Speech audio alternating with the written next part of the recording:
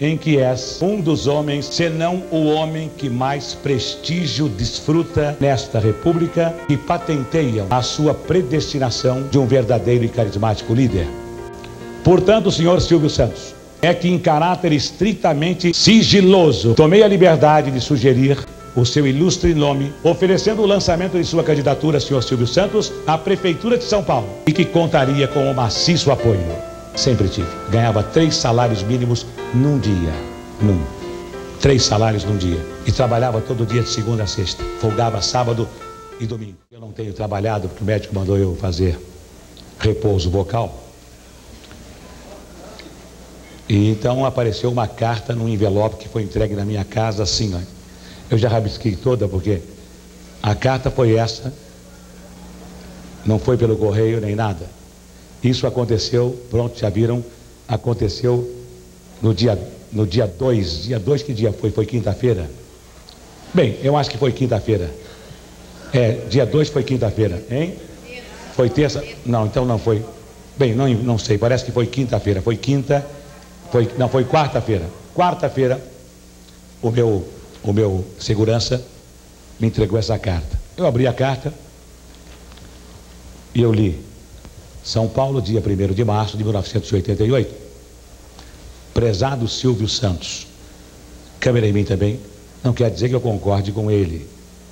Eu acho que ele foi muito gentil. Mas eu vou dizer o que ele escreveu. Existem homens que são predestinados. E você meu dileto compatriota, senhor Silvio Santos, indiscutivelmente é um deles.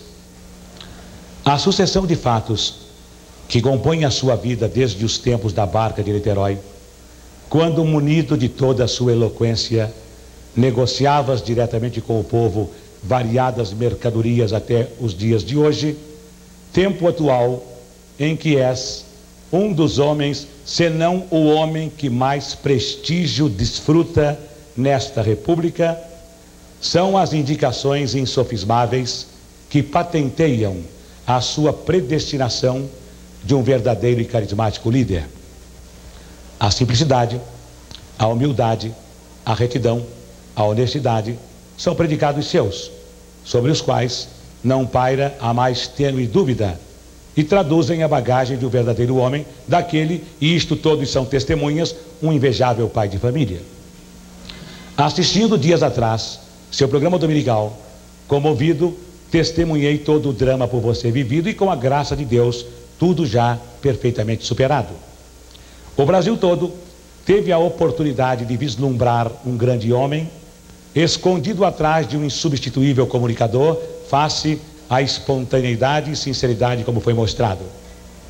Ocorreu-me, naquele preciso momento, a ideia de que estávamos na frente do esperado Messias, aquele que reunia todas as qualidades enfatizadas pelo nosso prefeito municipal, doutor Jânio da Silva Quadros, por ocasião do transcurso de seu aniversário e dos 434 anos da fundação da cidade de São Paulo, quando do seu manifesto anunciou que a gula de poderosos asfixia brasileiros, que as promessas demagógicas e eleitoreiras estão aí sem serem cumpridas, que há carência de civismo e franqueza moral, além de falta de caráter nos homens públicos. Afirma o ex-presidente que estamos caminhando para o que se vislumbra no horizonte uma tragédia nacional. Acentua ainda que a política aviltou-se de tal sorte que os homens de bem a evitam e evitam na defesa dos seus interesses legítimos e da reputação que desejam intocada. Até parece que na grande maioria dos brasileiros desapareceu a vontade de lutar, tal o conformismo de sua liderança. Vislumbrei desta forma o líder, o homem que poderá e que realmente reúne todas as condições de dar continuidade à majestosa e irreversível administração Gênio da Silva Quadros, à frente da municipalidade de nossa querida capital. Portanto, senhor Silvio Santos, é que em caráter estritamente sigiloso, prestem atenção, é que em caráter estritamente sigiloso, tomei a liberdade de sugerir o seu ilustre nome, ao notável homem público, o nobre deputado estadual e vice-prefeito doutor, Arthur Alves Pinto, digno dirigente do Partido da Frente Liberal, o qual de pronto endossou seu nome e, com, e concomitantemente autorizou-me a falar em nome do PFL, oferecendo o lançamento de sua candidatura, senhor Silvio Santos, à Prefeitura de São Paulo, e que contaria com o maciço apoio. Particular amigo que sou de seu irmão Henrique, já antecipei a ideia da apresentação de seu nome ao sufrágio e que reúne condições quase que de absoluto sucesso. Necessitaria, para finalizar, de um contato direto com o senhor, ocasião em que detalharia melhor o idealizado, sendo, porém, de maior urgência, repito, de maior urgência, visto que existe a necessidade imperiosa de sua filiação ao partido até o próximo dia 9, agora próxima quarta-feira, 9 de março, data improrrogável. 9 de março, quarta-feira agora.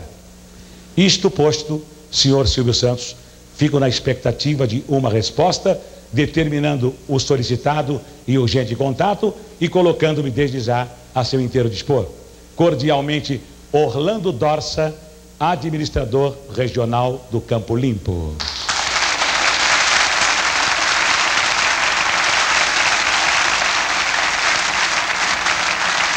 Eu recebi essa carta certamente na quinta-feira. Telefonei. Não conheço ainda o Orlando Dorsa. Muito obrigado, Orlando. Não tive tempo de chamar você no telefone por uma razão. Não é que eu não tive tempo, porque eu pensei que fosse uma brincadeira, como muitas que eu recebo. Telefonei então para o vice-prefeito doutor Arthur Alves Pinto. Não conheço, nunca vi pessoalmente.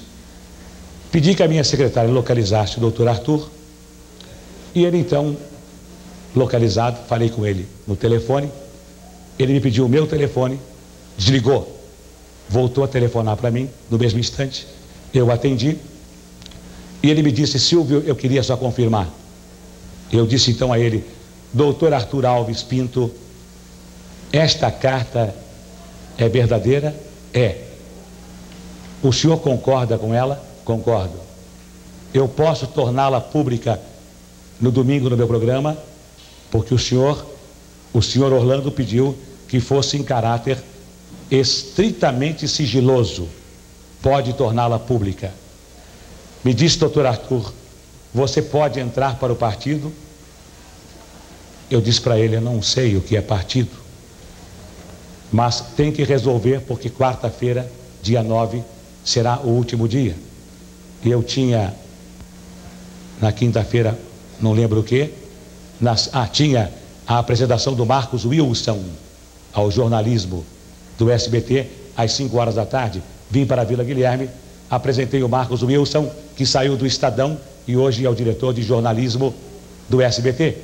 Tinha a despedida do, do jornalista que trabalhou comigo durante muitos anos, Arlindo Silva, e que agora foi promovido a meu representante e a diretor de Relações Públicas do Grupo Silvio Santos. Vim para a Vila Guilherme, apresentei a carta para a imprensa, mas antes de ter vindo para a Vila Guilherme com a carta, meia hora depois, apareceram na minha casa duas pessoas muito, muito, muito delicadas. O deputado que foi, que foi prefeito de Venceslau Brás, Inocêncio Herbela, e um rapaz que se chama Lipes Olines, não lembro mais, que deve trabalhar com o doutor Arthur Alves Pinto. Levaram cinco fichas, eu preenchi, eu mesmo preenchi, meu pai minha mãe, a minha idade, eu não tinha o título de eleitor, pedi à minha secretária que me desse os números, preenchi também, assinei, entreguei as cinco fichas ao deputado Inocêncio e ao Lipes, e meia hora depois as rádios estavam dando que eu me havia filiado ao partido e que já era candidato a prefeito. Ok? Então eu não tornei a carta pública, embora tivesse a autorização de torná-la pública. O partido tornou as minhas inscrições no partido, tornou-as públicas e o rádio já estava divulgando. E na Assembleia todos já estavam comentando e todos tinham até a fotocópia das fichas que eu, que eu havia assinado meia hora depois de eu tê-las assinado. Cheguei na Vila Guilherme, todo mundo já sabia, o rádio já tinha divulgado. Então, entreguei a carta para a imprensa e fiquei de dar uma resposta hoje no meu programa. O que acontece é que eu não sou criança. Gosto de brincar, porque quando não brinco, como não brinquei no domingo passado, a audiência sai de 50 e vem para 20. E quando fico quatro semanas fora por motivos médicos, o público sente falta de mim e pede para mim voltar. E desde que eu me conheço por gente, desde que eu li História da Civilização, eu li que o povo precisa de pão e circo. E durante todos estes anos, eu dei circo ao povo, desde quando eu era camelô, desde quando eu trabalhava nas ruas do Rio, fazendo mágicas, contando piadas e vendendo canetas, eu dava circo ao povo para ganhar o meu pão. Hoje, hoje eu não preciso mais ganhar o meu pão. E já desde 14 anos que sempre tive muito mais pão do que precisei. Sempre tive. Ganhava três salários mínimos num dia. Num. Três salários num dia. E trabalhava todo dia de segunda a sexta. Folgava sábado e domingo.